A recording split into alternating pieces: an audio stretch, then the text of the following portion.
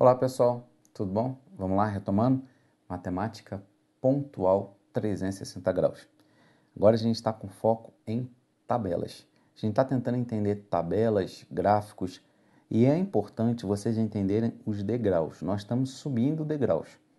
Então não pulem aula, não pulem nenhuma questão, porque uma questão está amarrada com a outra, que está amarrada com a outra, principalmente se você tiver dificuldade em matemática. Quem não tem dificuldade, tudo bem, pode pular à vontade. Agora, quem tem dificuldade, me deixa conduzir o seu crescimento. Nós estamos vendo uma questão que vai te dar apoio para outra, que vai te dar apoio para outra. Vocês viram que lá na aula passada nós começamos com uma questão muito fácil, depois a gente, te, a gente caiu numa questão que envolvia razão. Razão de dois números. E a razão interpreta, é interpretação de matemática. Então, assim, você tem, para você saber tabelas, você tem que saber também alguns conceitos matemáticos. Existem outras questões que são outros conceitos de matemática que você vai ter que saber. Mas isso a gente vai fazer, a gente está caminhando, a gente está subindo degraus, a gente vai chegar exatamente onde importa para você dentro de concurso. Ok? Então, vamos lá. Vamos ver essa questão aqui. Ó. Observe o gráfico. Cefete da Bahia. Então, ó, desemprego. Quem é, antes da gente ler, vamos, inter, vamos olhar o que, que, é o gráfico que ele está me dando. Gráfico 1, desemprego no mundo. Gráfico 2, desemprego no Brasil. Essa questão aqui, eu trouxe para vocês, para você ver como é que nós vamos fazer esse tipo de questão. Vocês estão vendo que ele quer que eu julgue verdadeiro, falso, verdadeiro e falso a cada um dessas e depois eu encontre o gabarito, tá? Só que muitas vezes eles vão tentar dificultar para que eu não encontre alguns gabaritos. Então não pense duas vezes. Pulem, como assim? O crescimento do desemprego, do desemprego verificado em 2008 no gráfico 1, ou seja, nesse aqui, decorre das demissões em massas ocorridas principalmente nas economias desenvolvidas. Primeira coisa, só olhando para cá, eu sei dizer se essas demissões foram por causa disso? Aparentemente não. Então eu não vou, eu não sei, ainda não sei. Então a gente bota interrogação. Letra aí o segundo. O aumento do trabalho informal está relacionado, como o nome já diz, à maior informatização dos setores produtivos da economia. Olha aqui o que ele falou. Como o nome já diz. Ué, cadê o nome? Onde é que está dizendo isso que o, o aumento do trabalho informal está relacionado, como o nome já diz, à maior informatização dos setores produtivos da economia. Isso aqui pode até ser verdade. Pode. Tá? Mas está escrito no gráfico? No gráfico eu estou dizendo? E olha só, o que, que ele está dizendo? Após análise dos gráficos. Então ele quer que eu analise esses gráficos. Aí ele fala: o aumento do trabalho informal está relacionado, como o nome já diz, à maior informatização dos setores da economia. Por mais que você ache que isso aqui está certo, olhando para, os gabari para as tabelas, eu não posso julgar isso. Então vou dizer falso. Aqui eu já sei, aqui eu já tenho certeza que é falso. Ok? Então, olha só, antes de eu continuar, se eu sei que o segundo é falso, ó, eu estou entre esse, porque ó, o segundo é falso. Esse aqui, ó, ele já sai fora. Esse aqui já sai fora. Esse aqui fica e esse aqui, ó, sai fora. Então, ou seja, eu já fiquei entre a A e a D. Pronto, com uma única informação, eu já marcaria entre a A e a D. Eu ficaria entre as duas. Se eu fosse chutar, minha chance de chute antes era 20%. Só com essa informação eu já pulei para 50% minha chance de chute. Mas é claro que a gente não vai fazer chutando, a gente vai analisar. Vamos continuar. Aí ele fala: ó,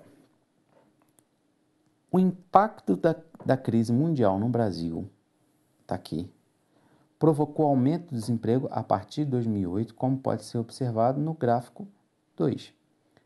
Então, a partir de 2008, tá aqui, a partir de 2008, O impacto da crise provocou aumento de desemprego a partir de dezembro de 2008. Ó, dezembro de 2008. Desemprego 2000 aqui, ó. Isso aqui, você pode ver que o desemprego aumentou, realmente. E a partir de quando? 2008. A partir de 2008, ó. O impacto da crise mundial no Brasil. Aí você fala, tá, mas onde é que está falando aqui que a crise é um emprego a, a crise foi a crise mundial, tá? Aí você fala, olha, é, aqui você tinha que saber um pouquinho do conceito do que aconteceu em 2008.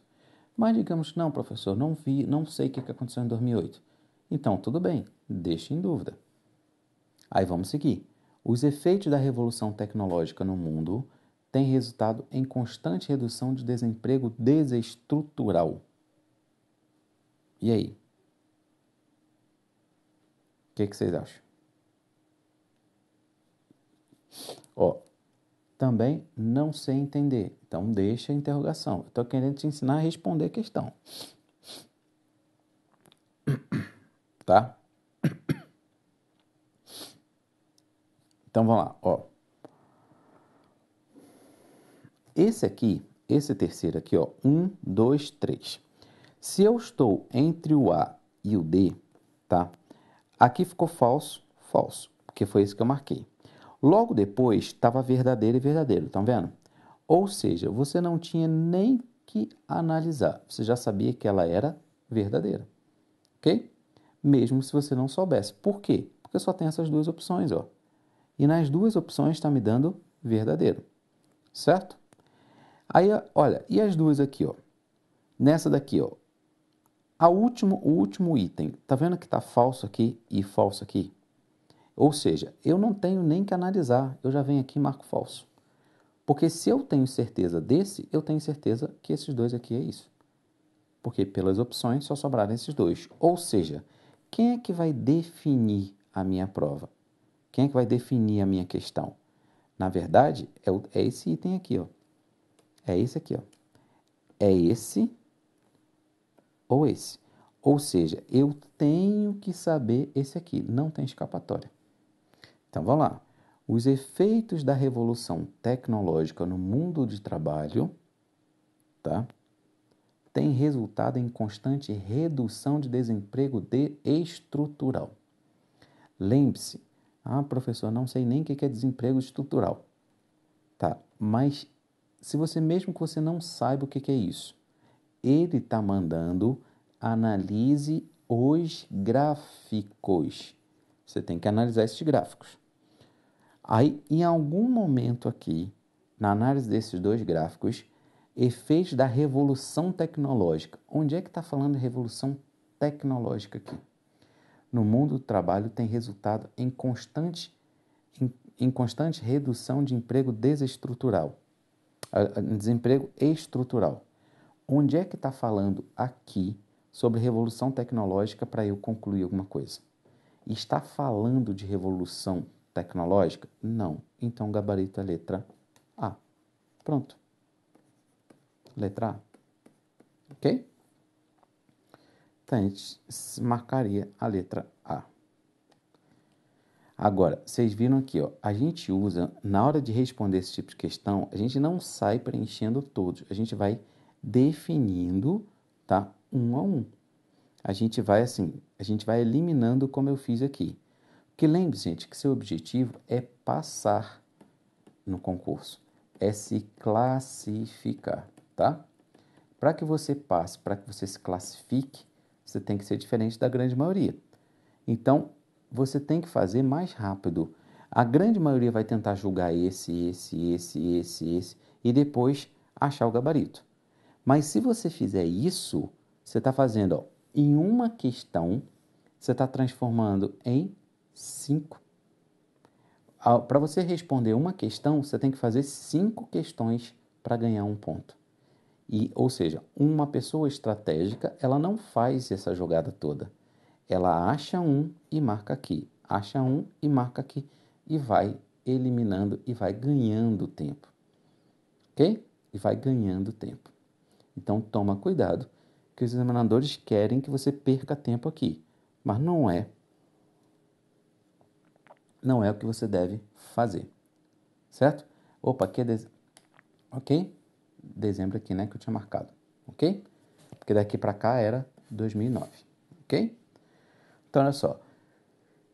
Eu sei que algumas pessoas aí podem questionar. Ah, não, mas isso aí envolve interpretação. Ah, isso aí eu discordo, eu discordo. Na parte de gráfico, tem muita gente que tenta entrar com recurso justamente porque é interpretação, tá? Interpretação de algumas coisas, claro que às vezes geram uma pessoa entende uma coisa, outra entende outra, e por isso que os examinadores gostam de colocar. Agora, você tem que pensar como ele. Não adianta você pensar, ah, não, mas eu acho que é isso. O examinador não aceita. O examinador quer que você pense como ele. Então você tem que, infelizmente, você tem que entender a cabeça do examinador também. Você tem que entender, você tem que interpretar a mente dele. Agora, como é que você faz isso? Pegue gráficos da sua. Aí é importante você olhar os gráficos da sua banca, porque você entendendo os gráficos da sua banca, você está entendendo como o seu examinador entende essas questões. Aí você consegue responder. Porque às vezes o que, o que é uma interpretação para uma banca, na outra banca ela pensa o contrário. Mas aqui eu estou tentando trazer você uma visão geral. Você tem que ter uma noção do que é a interpretação de gráficos e tabelas. É isso que eu estou trazendo. Agora, dentro da interpretação, vocês vão ver que vai ter um caso que a gente vai ter que fazer cálculos e cálculos e cálculos envolvendo conhecimentos básicos. Então você tem que saber alguns conhecimentos lá atrás da matemática para responder questões envolvendo gráficos. Mas lembrando que gráfico não cai somente em matemática. Gráficos cai em raciocínio, cai em história, cai em geografia, cai em atualidade. Ok? Às vezes até mesmo em português cai gráfico. Ok? Vamos lá.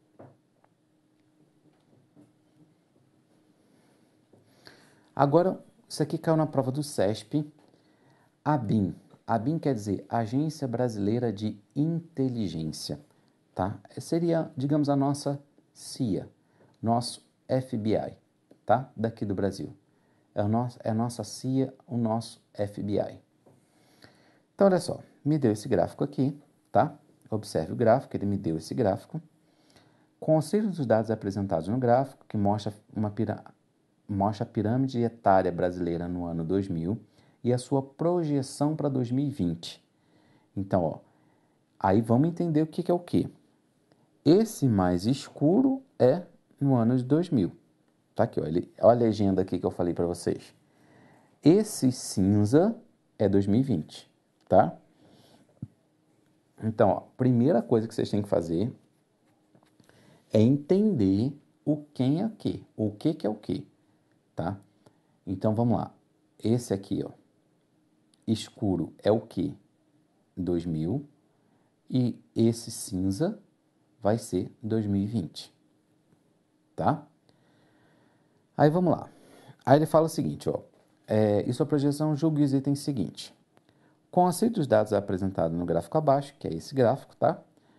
Que mostra a pirâmide faixa etária do ano 2000 e projeção para 2020, julgue. A, a participação relativa dos jovens no conjunto da população brasileira deverá diminuir, enquanto das pessoas com mais de 70 anos deverá aumentar.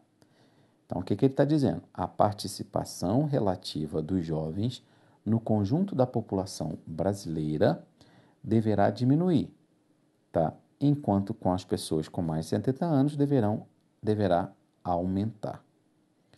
Então, olha só.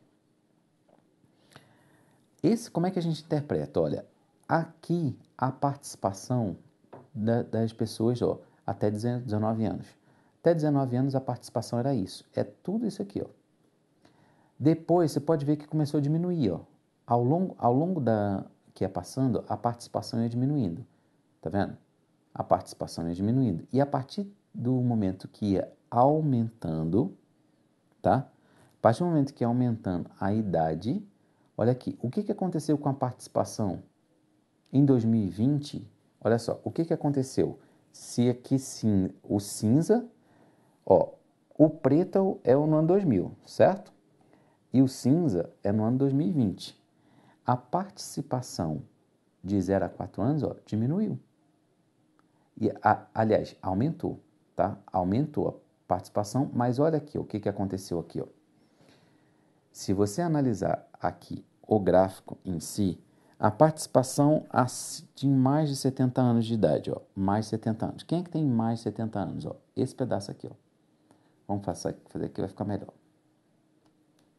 Mais de 70 anos, tá?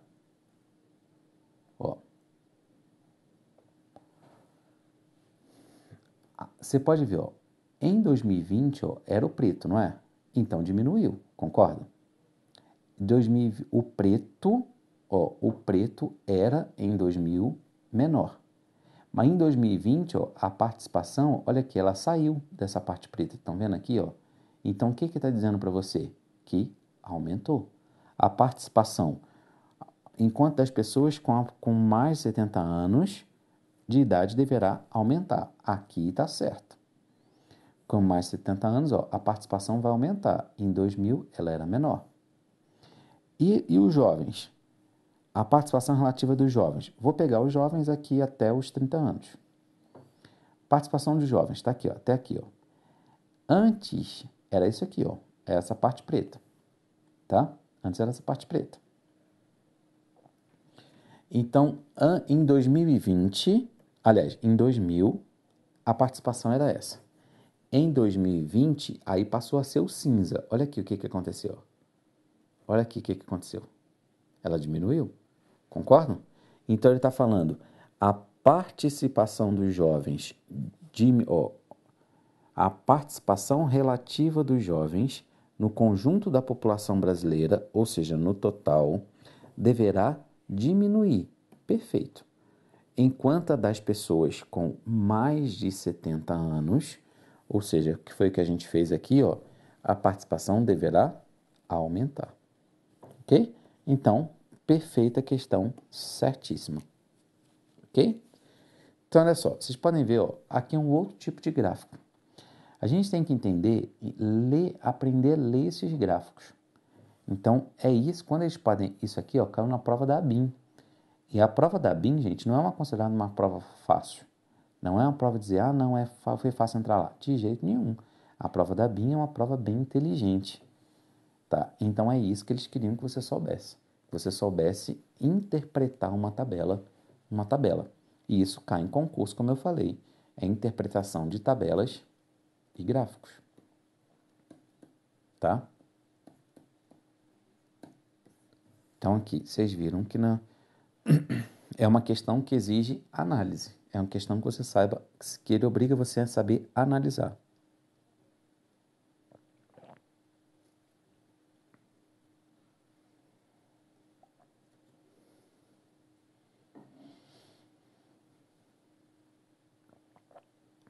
Ok?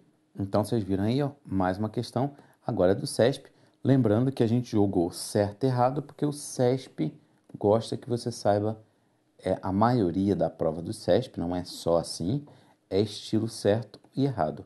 Ou seja, você vai marcar certo ou errado para cada para cada gabarito, cada questão, quer dizer. Ele quer que você apenas saiba julgar certo ou errado. OK?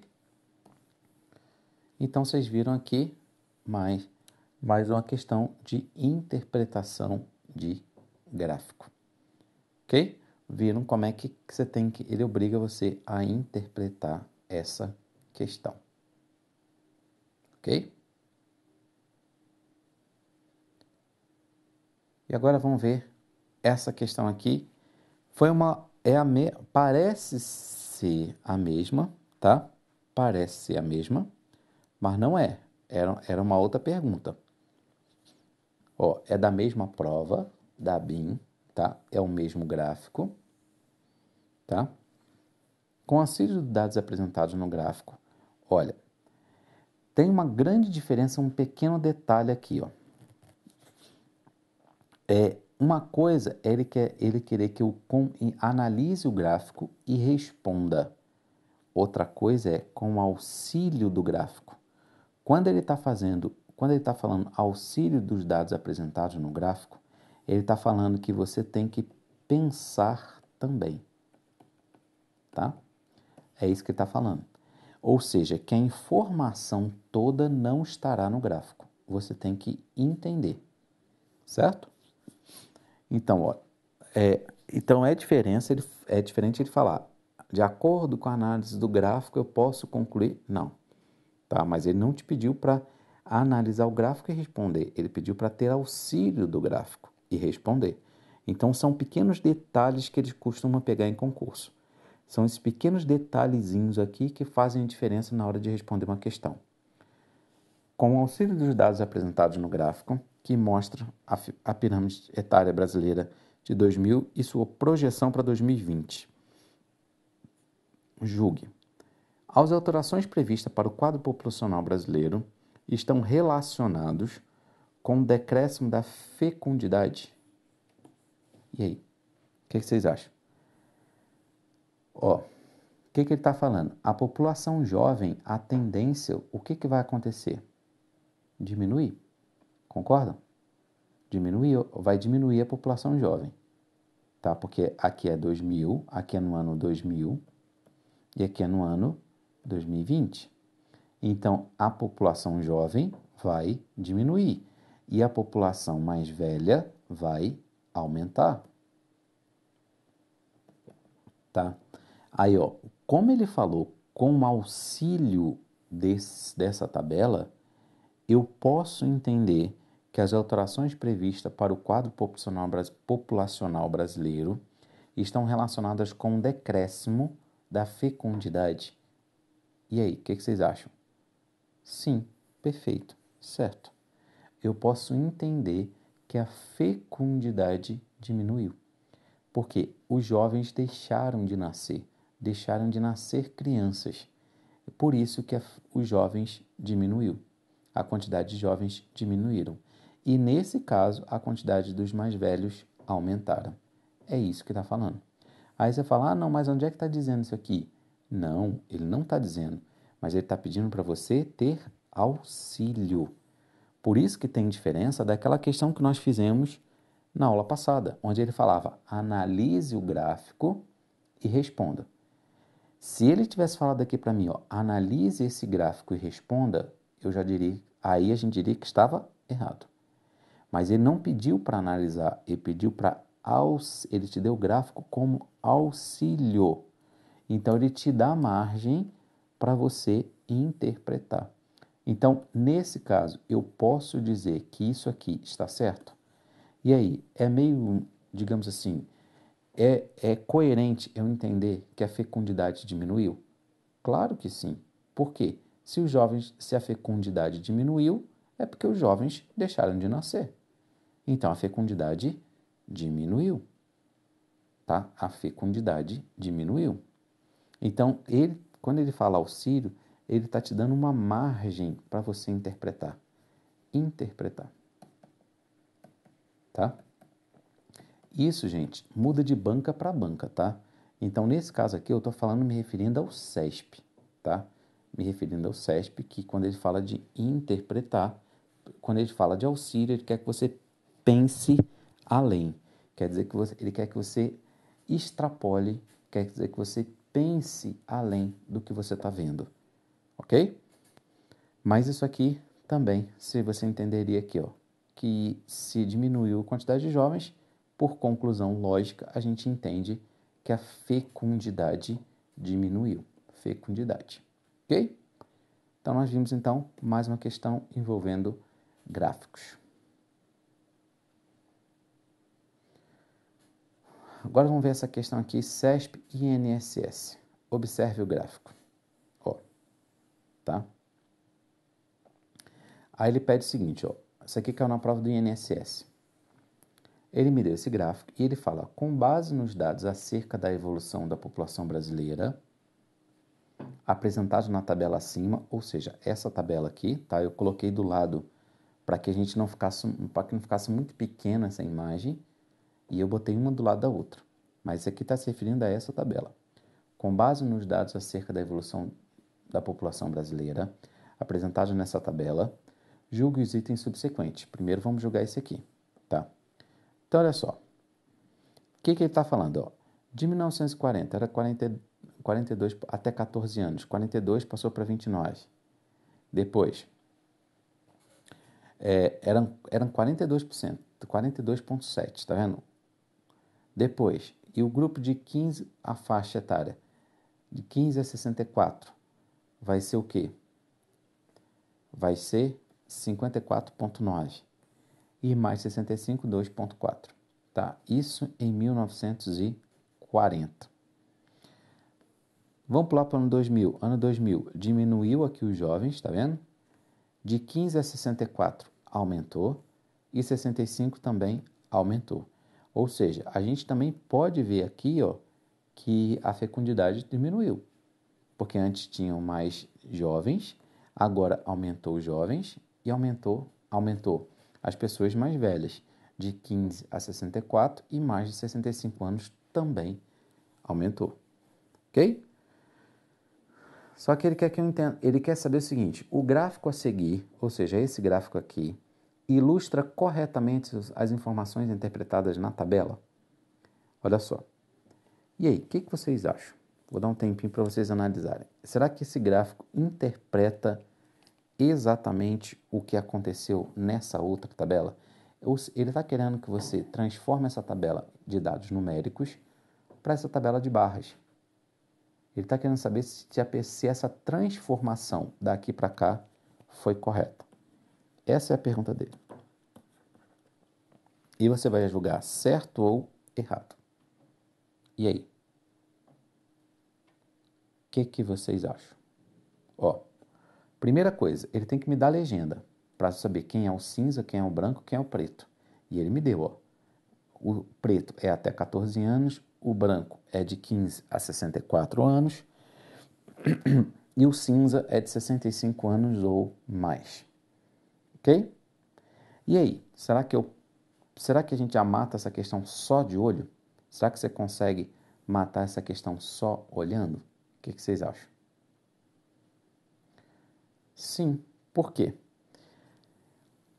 Em 1940, tá aqui, concorda que, olha só, a quantidade de jovens era, era 42,7, enquanto de mais de 65 era 2,4. Era muito pouco, 65 anos a mais, e muita gente com 14 anos. Olha aqui no gráfico. Quem é que tem 14 anos? É o preto. No gráfico, olhando no gráfico, olha o tantinho que está o preto. O que, que vocês acham? Com certeza está errado. Porque isso aqui, ó, em os que tinham até 14 anos era muito mais, ou seja, era uma coisa assim, ó, esse cinza aqui que era para ser 14 anos. 14 anos era mais ou menos o cinza. 14 anos está aqui. Só que ele, pela legenda que ele fez, ele disse que o 14 anos era esse aqui. Não, esse aqui de cima é o 65. 65 anos ou mais mais 65 anos, tá? E esse do meio aqui era o quê? Aqui era de 15 a 64. Ok? Ó, pode ver que aqui, ó, 40, daria um pouquinho mais de 42, tá vendo? E olha aqui, um pouquinho mais de 42. Então, na verdade, esse aqui era para ser, só se eu trocasse a legenda. Esse gráfico só estaria certo se eu trocasse, é, no lugar desse aqui eu colocasse 14 anos, até 14 até 14 anos. E aqui trocasse. Aí tudo bem. E esse aqui, ó, mais 65 anos ficasse aqui. Aí estaria correto. Agora, do jeito que está, gente, aqui é quase 50%. Como é que vai ficar esse pedacinho aqui para quem tem 14 anos? Até 14 anos. Com certeza a questão está errada. Perfeito. Ela está errad erradíssima, certo? Então vocês viram aí uma questão que está errada. Ok? Então vocês viram como é que faz essa questão. É pura interpretação. Pura você bater o olho. Opa, já enxerguei. Já enxerguei exatamente o que ele quer. Isso aqui caiu na prova do CESP, na prova do INSS. INSS. Vocês acham que essa prova é fácil? Não. Mas por que, que eles colocam isso em prova? porque eles sabem que isso derruba uma grande massa de candidatos. Ok? A gente vai ficando por aqui. Eu aguardo vocês na próxima aula. Até lá. Tchau, tchau.